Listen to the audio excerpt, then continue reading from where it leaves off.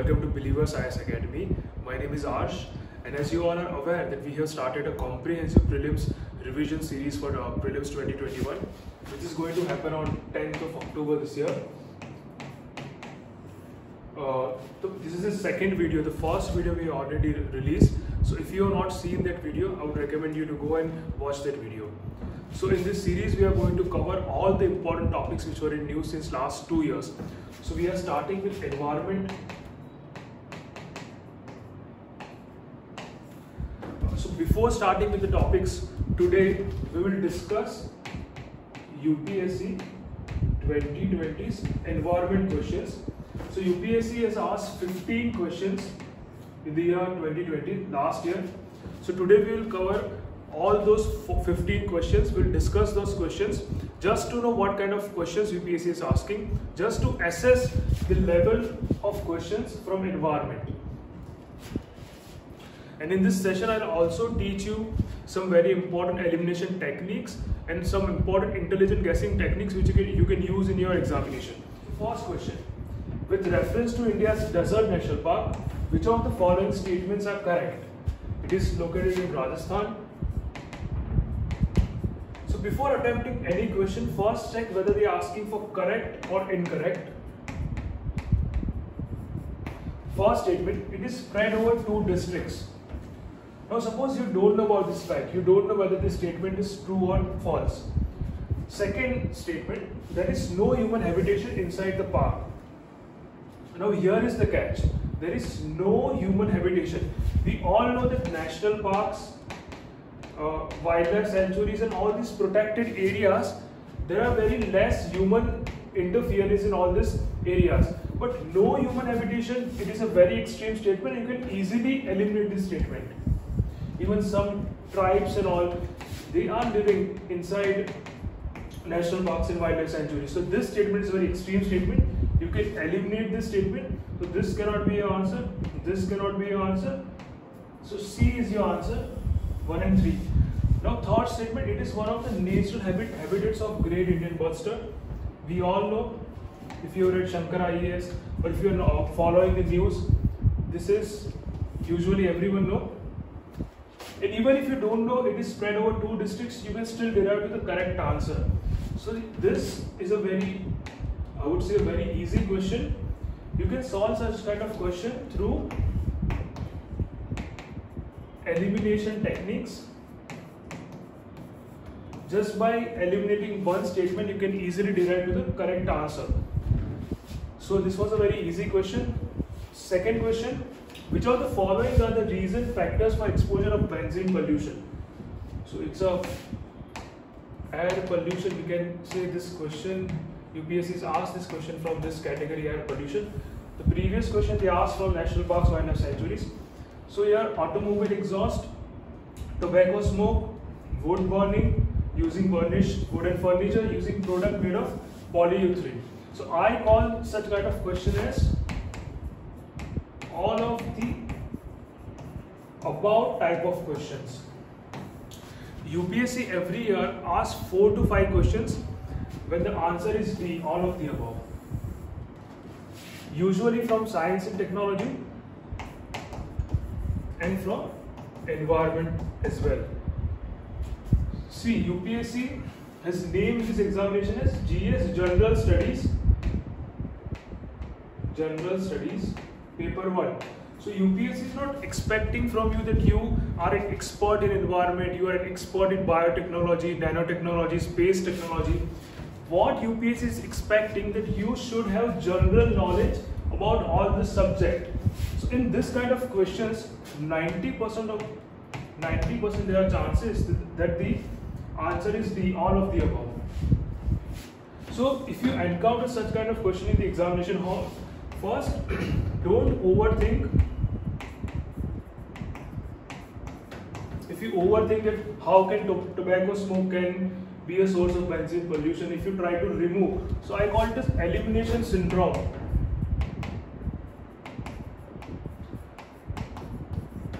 So here upsc is in a way give information that benzene pollution these are the sources of benzene pollution So without thinking much, you can go with D in such kind of question.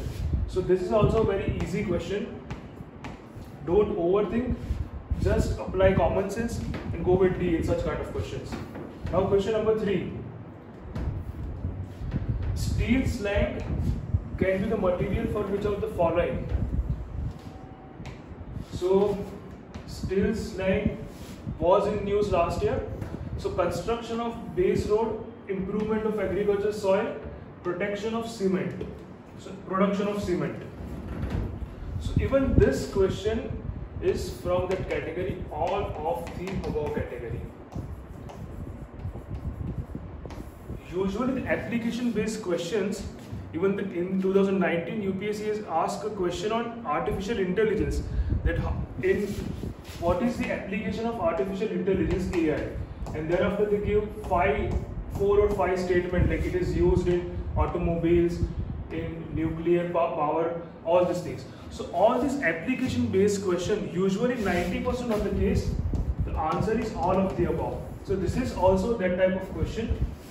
Steel slag can be used in construction of base road, yes. Improvement of agriculture soil, again yes. Production of cement, yes. So again D is the answer. Again remember, don't overthink So this question previous question, second question, even if you are not read about benzene pollution or steel slag, if you just apply the common sense and few these principles, you can easily derive to the question, to the answer. Now question number four. Consider the following statements. First, coal ash contains arsenic, lead and mercury. Coal fired power plants release sulfur dioxide and oxides of nitrogen into the environment. Again, it's very true. High ash content is observed in Indian coal. So, this is also a very true statement. Indian coal contains high uh, Indian uh, high ash content. Now, again, this question. So, we have seen two previous questions and this one. All of the above category. Here, don't overthink, don't be over smart, don't think that uh, coal, coal ash contains arsenic and mercury, but don't delete. Don't just just apply common sense and go with the D in all all this kind of questions. So, so again, the answer is D. The fifth one. In rural road construction, the use of which of the following is preferred for using environmental sustainability or to reduce carbon footprint? So they are asking a clean energy option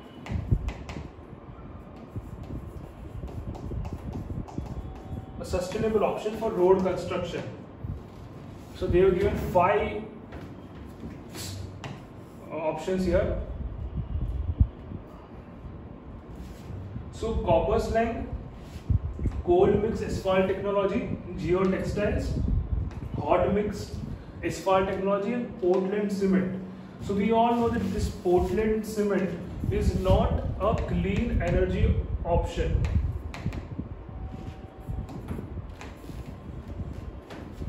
Portland cement, it can lead to air pollution, cement, water pollution, so it is apparently not a clean energy option. We can easily figure this out. So if we remove this option number 5, this cannot be our answer, this cannot be answer.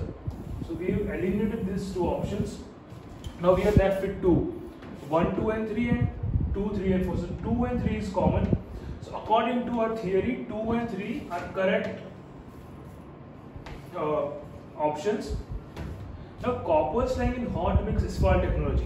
If you observe carefully, your cold mix asphalt technology, we are considering it, it as a clean energy option according to our theory. So this cannot be a clean energy option for road construction.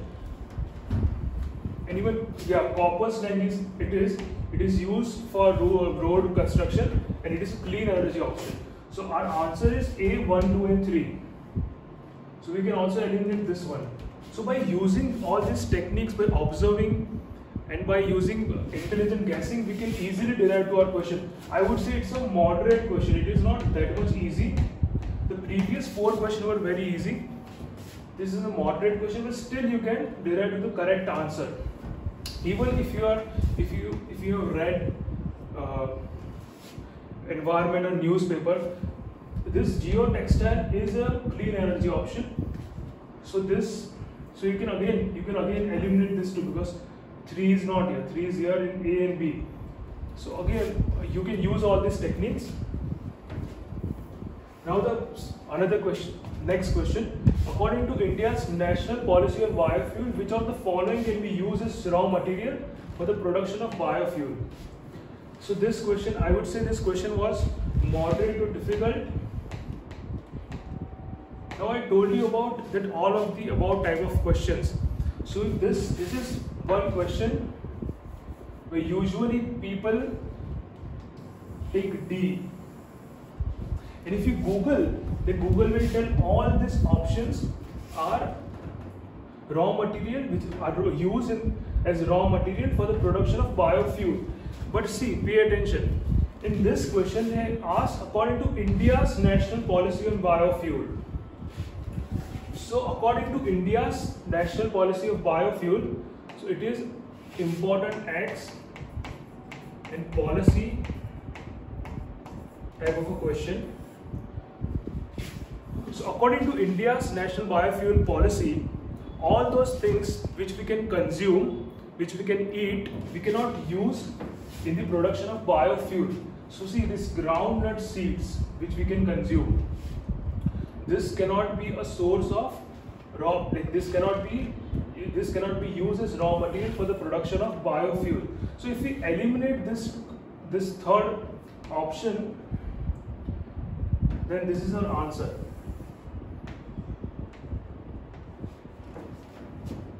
But if you if you apply that all of the above uh, technique in this question, then there are chances that this, this question you can take this question incorrect. See, horse gram, it is also, we can consume horse gram. Rodent potatoes, we cannot. Sugar beet, again we cannot. Damaged wheat grains, we cannot consume. And cassava. So, 1, 2, 5 and 6 is the correct answer. Groundnut seed horse gram is consumable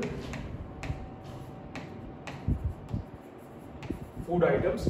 So, it is not included in India's national policy on biofuel. Next question, which of the following protected areas are located in Kaveri Basin? So this question, we can also put this question in geography category as well. Important map based question.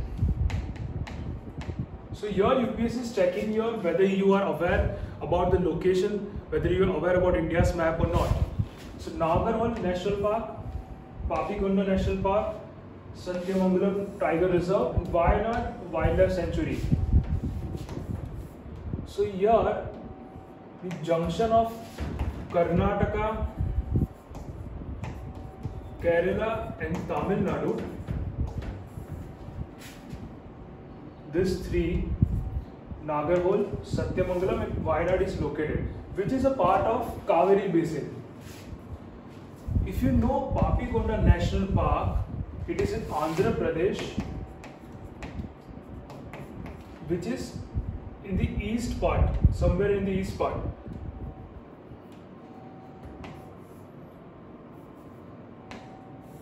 So all these things are located. The Papikonda is located somewhere east. So if you know Papikonda National Park is located in Andhra Pradesh, which is eastward to all these things, which is eastward to Kaveri Basin, you can easily eliminate this option Papikonda National Park. So this is your answer C. Nagarhole is obviously it is part of Kaveri Basin. So here UPSC is checking whether you know important location in Indian map or not. And even they ask such map-based question like world map-based map-based question as well. They ask different water bodies around the world, different country around the world. So this question you can solve if you know this I would say it was a moderate question. If you have knowledge that Papikonda is in Andhra Pradesh, you can eliminate. Otherwise, you cannot solve this question. Now, with reference to Indian elephants, so this is a species-based question. Species in news. So till now we have seen questions from national parks, pollution-based question, India's biofuel policy, act and policy-based question. This question, species in news, species-based question. Consider the following statement. The leader of an elephant group is a female. Suppose again you don't know this statement, let it be. The maximum gestation period can be 22 months. An elephant can normally go on calving till the age of 40 years only. Now again, all this extreme statement which contains only, all, all this, all this statement, there are 90, I'm telling you 90% chances that these statements are false. I'm not saying 100% UPSC might change the pattern, but in the last three, four years, we have seen all this kind of question when they put only all, all these extreme statement are usually mostly incorrect. So if you eliminate question, this uh, three, third option, C and D cannot be your answer. So either 1 and 2 or 2 and 4. Now see, fourth statement, among the state in the in India, the highest elephant population is in Kerala. So this was in news. Now UPSC is actually want to know this fact from you, whether you know this or not. So it is not Kerala, it is Karnataka. And if you observe the last current affairs, then you can know this fact. It is not Kerala. So you can eliminate this statement as well if you know this fact it is not Kerala. Kerala also has a significant elephant uh, presence, but Karnataka is the one which has the highest elephant uh, population. So if you eliminate this four, one and two is your answer. So here UPSC want to know whether you know this fact or not. Usually we don't know whether the leader of elephant group is a female or a male, but here it is not required if you eliminate extreme statement and this one, if you know this fact, you can easily derive to the correct answer. Next question. If a particular plant species is placed under Schedule 6 of the Wildlife Protection Act 1972, what is what is the implication? So again, important acts and policy. We have seen a question on national biofuel policy now this important act.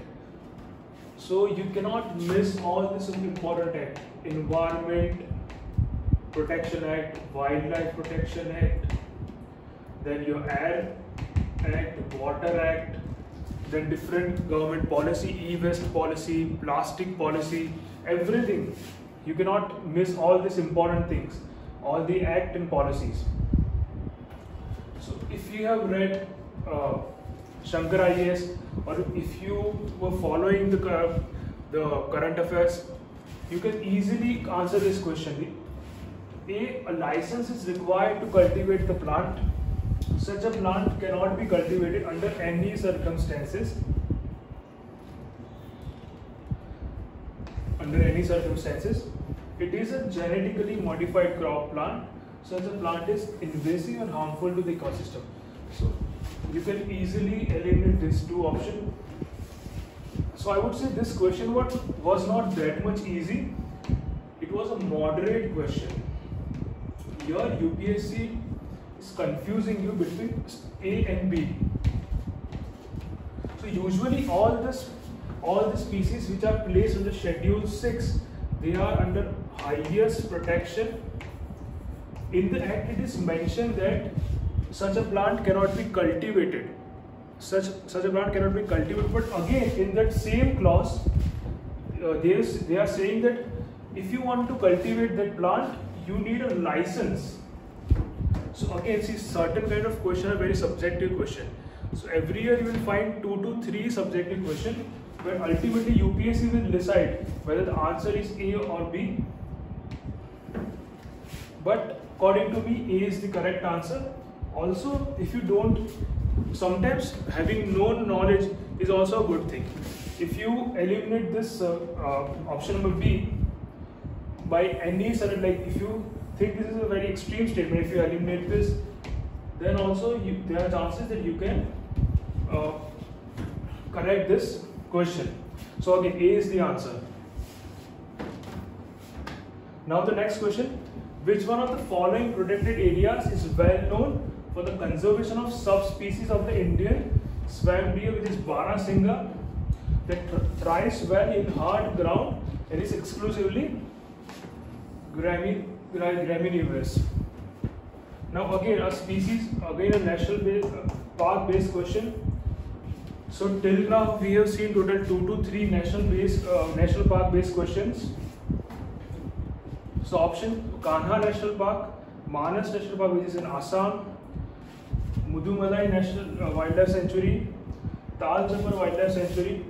So this is a very easy question. If you know Barasingha is found can be found in Madhya Pradesh, you can easily mark this question as correct. See Manas in northeast, Mudumalai in south, Kanha. If UPSC wanted to ask a difficult question, they could have they would have given options like Kanha, then Pench, and then different Madhya Pradesh uh, wildlife sanctuaries and national parks.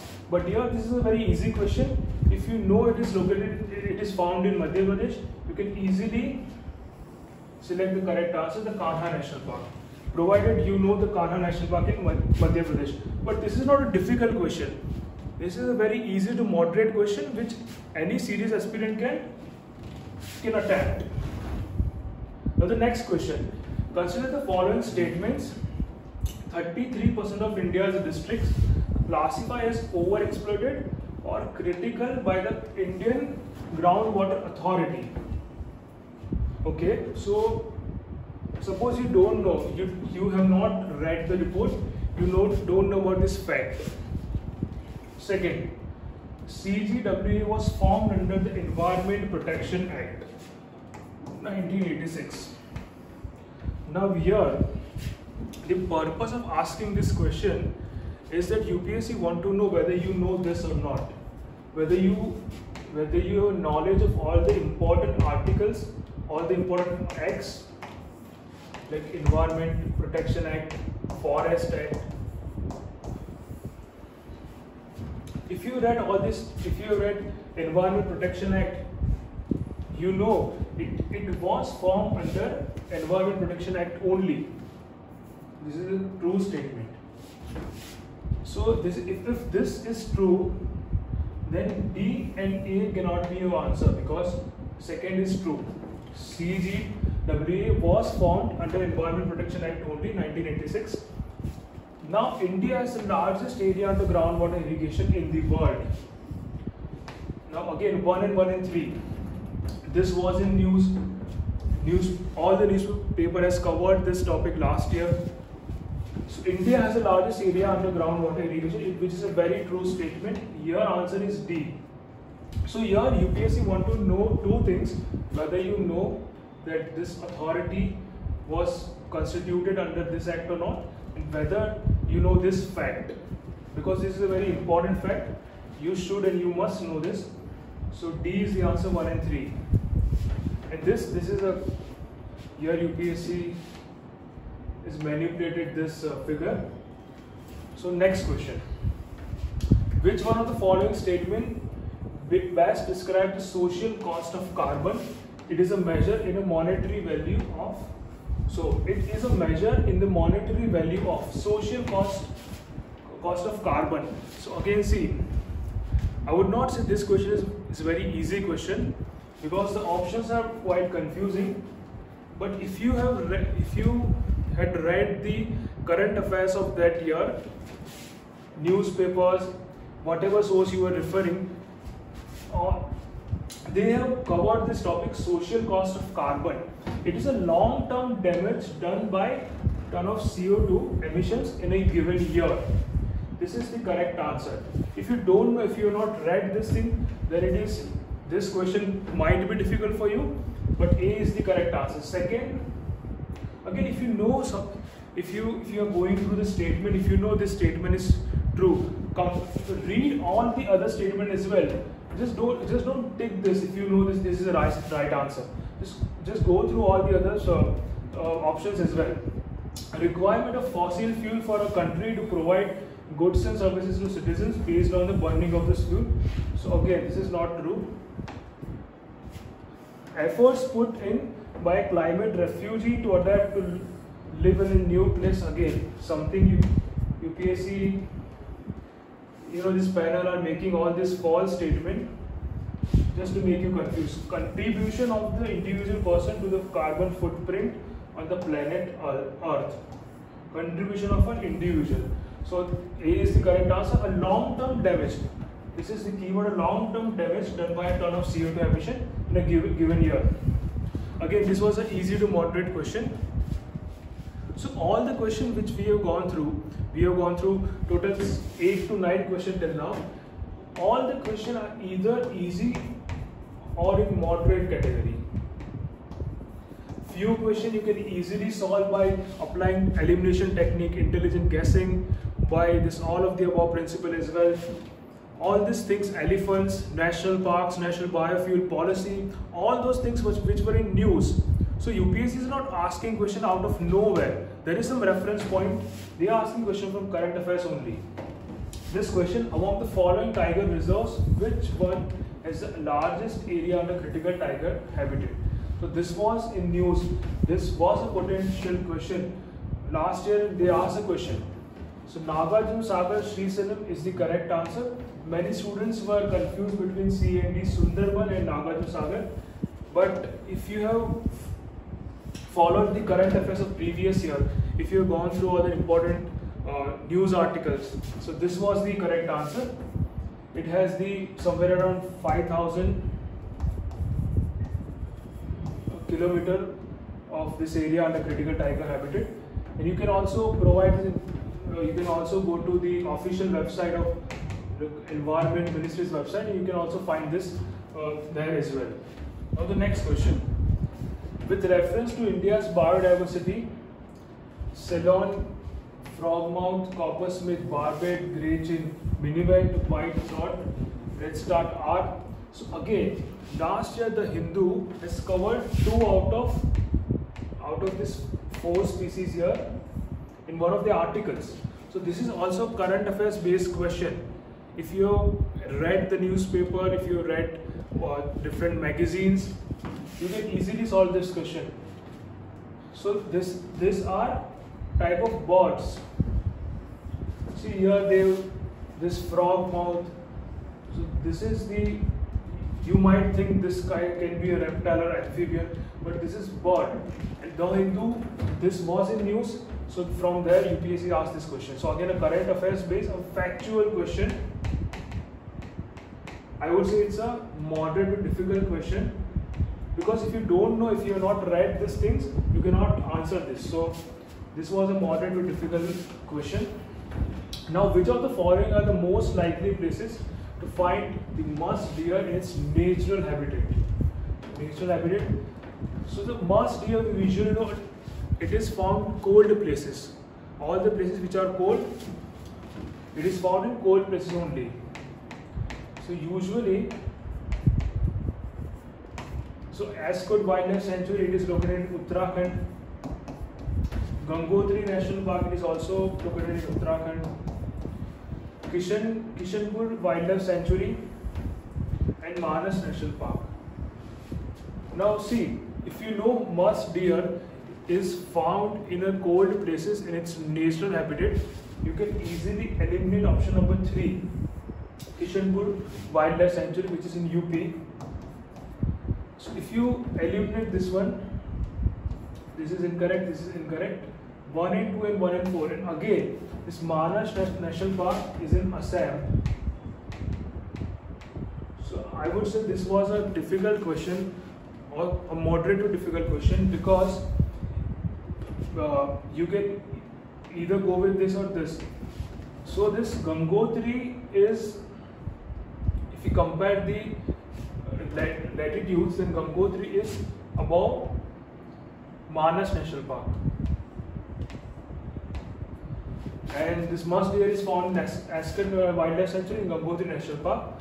So this is not the correct answer, this is the correct answer. But again, it was a tricky question. Even Manas people might get confused with Manas and Gangotri. But Gangotri is more in the north. So Askot and Gangotri is the correct answer. So we have gone through all the 15 questions of what UPSC asked in 2020, all the environment questions. And I can see and also you have observed this general pattern. They are asking questions from national parks, wildlife sanctuaries, important places. The previous question we have seen the Gangotri National Park, it was asked from this category. Then we have seen the first question, the Desert National Park from this. Then the four national parks were given, the Kaveri Basin, the Papikonda National Park which we eliminated again from this category. Second, important species in news. We have seen a question on bird species, a current, current affairs based factual question. Elephant, again elephant was in news. It has been news since last two, three years. They asked a question. So important species based question. Then third, we have seen a question on Wildlife Protection Act, Environment Protection Act, then National Biofuel Policy, so this, this three is the core area from where UPSC is ask, asking questions.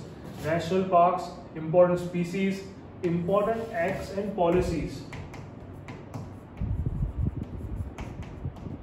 So we will cover all these things in our program. So from tomorrow we will start our program. We are taking environment first. We will try to finish environment within two to three days, two to three lectures. So every alternate day we will post a video. Once we are done with environment, we'll take science and technology. Then we'll take economics and then geography, map-based question. Uh, then after all the important government schemes and all the important reports which were there in news. So this is how we have designed our program. So you can see in environment, five to six were very easy questions. The initial questions which we have seen. Then 4 to 5 are moderate questions. These are the questions where you eliminated two options, but you are confused with the two. So sometimes luck can also play an important role in all these questions. And 4 to 5 difficult questions, which were difficult. So this has been the, if you see politics questions, economics questions, science and tech questions, the pattern is almost same.